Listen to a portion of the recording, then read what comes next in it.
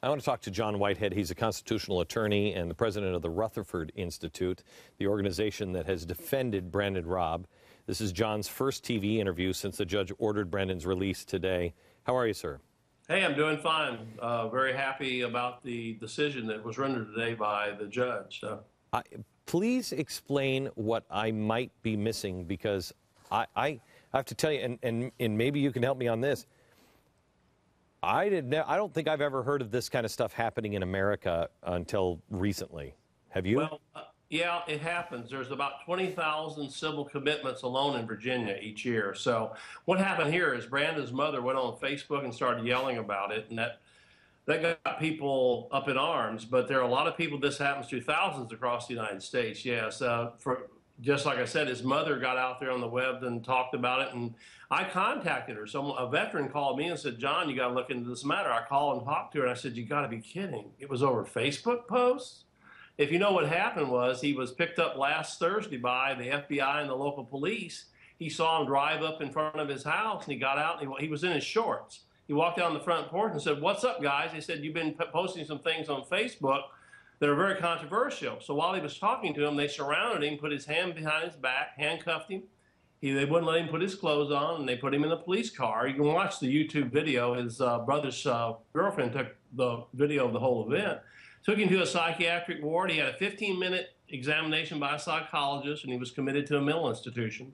Uh, we had a hearing Monday, and uh, they posted out all these uh, so-called posts he made, but they were on a private Facebook grouping he had with his brother and his sister, and they were playing a game called uh, Dear Illuminati, where they would say things to each other, and they were song lyrics. I mean, some of them were violent type of song lyrics, but you know, you can go back to the Rolling Stones and Beatles and get violent song lyrics. So, that so happened, and that was the evidence against him. Okay, so uh, two things. One, how did they uh, uh, did they have a warrant for his arrest? No warrant for his arrest and no search warrant. Here was the key because the police arrived and said, he said, what crime have I committed? They said, sir, you, you haven't committed a crime and we're not charging you with a crime. And they haven't, and they're not going to. I've talked to the police and the FBI and they say he committed no crime. His so-called problem was posting things about revolution. Well, I, I got it. I got it.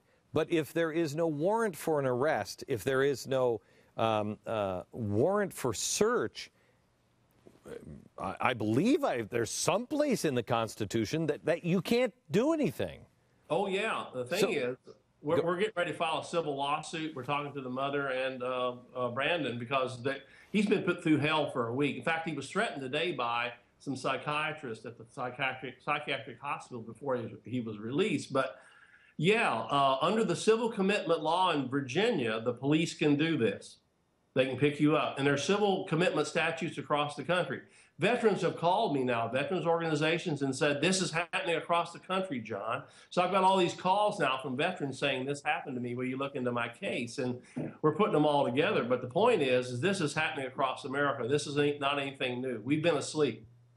I will tell you that I have talked to um, several um, uh, military members um, who are special forces who have been very concerned because they have seen this as well. They have seen that um, the military to get you know some benefits, et cetera, et cetera, are saying, yeah, post-traumatic stress syndrome. You just sign this, and and that way you can get some benefits for it as they go out. And um, there are several military uh, people at very high positions feel this uh, is a setup that the military is is being made to look crazy. Um, again, like uh, this man here, Brandon Raub, has never been under psychiatric treatment, and he does he owns no weapon. By the way, so what did they? What did he's they? A decorated at, Marine. He's a decorated Marine. Iraq and Afghanistan, two tours. What did they um, um, uh, threaten him with today? Well, uh, uh, he, he called me from, uh, they moved him three and a half hours away just a couple of days ago, which kind of freaked everybody out, us too. So we filed a court order to get him back close to Richmond, Virginia, where he has two businesses, by the way. He's a businessman.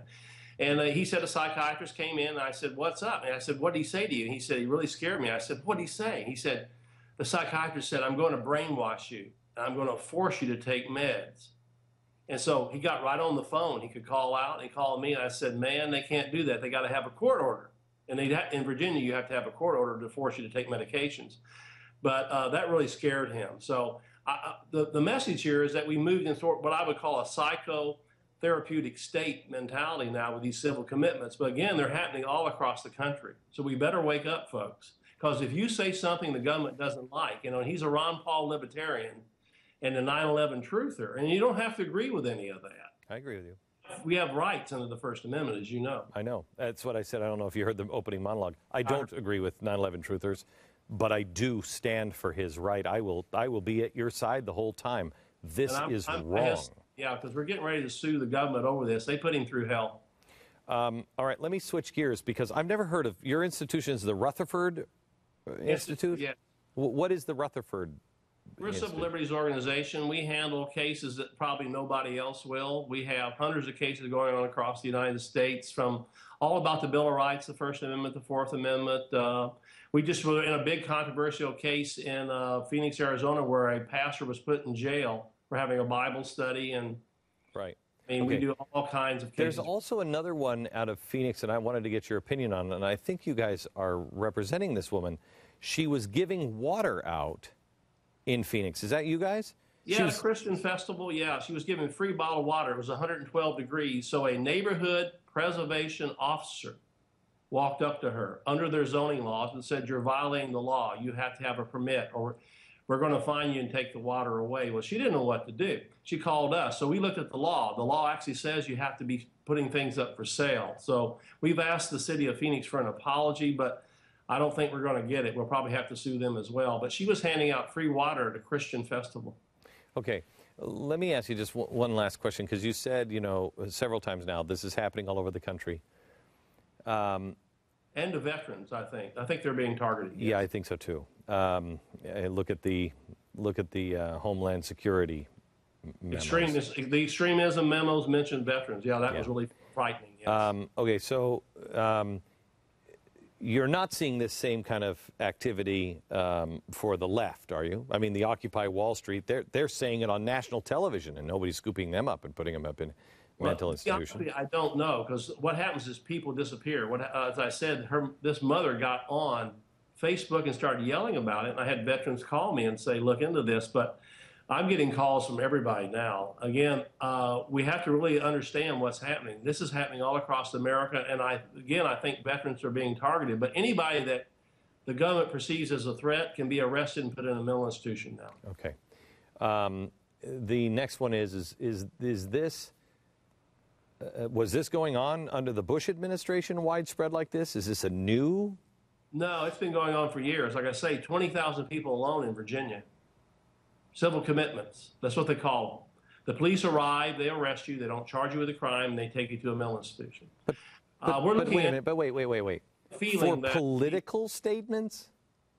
political statements, yes. And other things, of course, but uh, the ones we're hearing about are for political statement, yes. So what the don't know- I message know what- especially by the FBI, is if you are a 9/11 truther, that's what I'm hearing mainly. If you're a 9/11 truther, you're going to get investigated. For some reason, the government does not like that. Again, as you know, First Yeah. Amendment guarantees the freedom of speech. Yes. You don't have to agree with it. I don't agree with a lot of things I hear, but like I tell people, the same thing you said. I'll stand with you as long as you're you're not violent.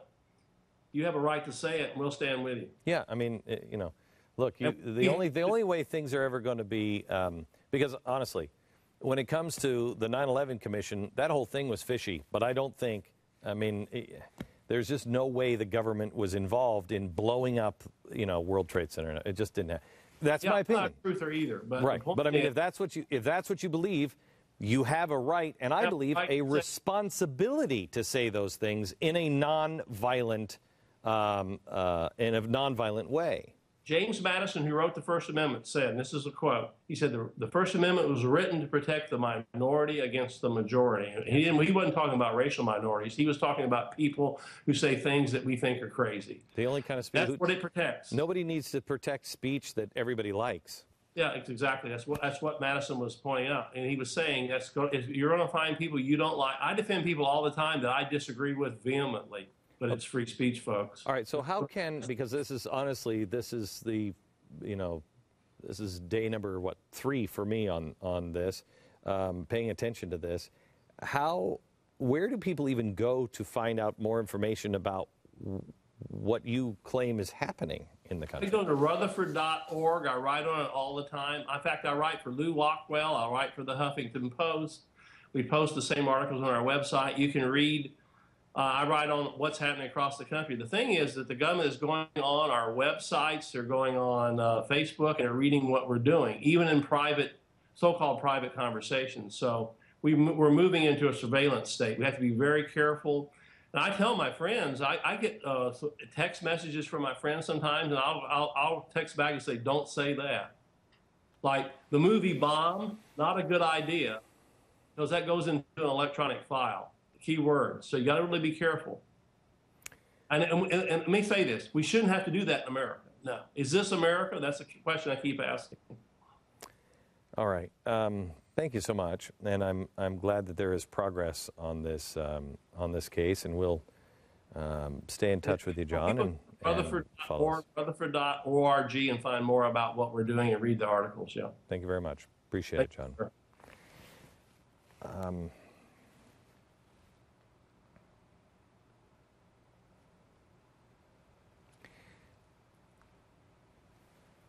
The world is a very uh, dangerous place because many will try to deceive you. Many will think they're right and they are not. Many will take things that are innocent and turn them into something nefarious. I want to make it very clear that from what I know of this story, um, this is an outrage. He kind of threw a lot of chips down on the table here.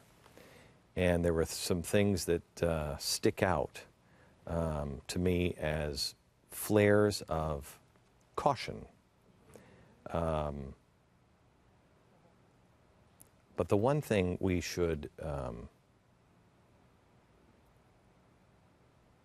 be reckless with is our defense of people who have opinions that we don't agree with. I have never asked for a boycott. I've never asked for someone to be fired. Um, man, right after 9 11, when Bill Maher said, you know, that at least the uh, bombers from Saudi Arabia were not, uh, were not cowards, and ABC fired him, I stood up for him. And I think he's a despicable human being. If we can't meet on the battlefield of ideas, as George Washington said, if we can't speak to each other um, openly, if we are paranoid and watching over our shoulder, um, we lose the essence of who we are, and we will never be a great nation again we must be vigorous in our search for the truth, question with boldness, hold to the truth, and speak without fear. But first things first question with boldness. Buckle up, I have a feeling this is going to be an interesting ride.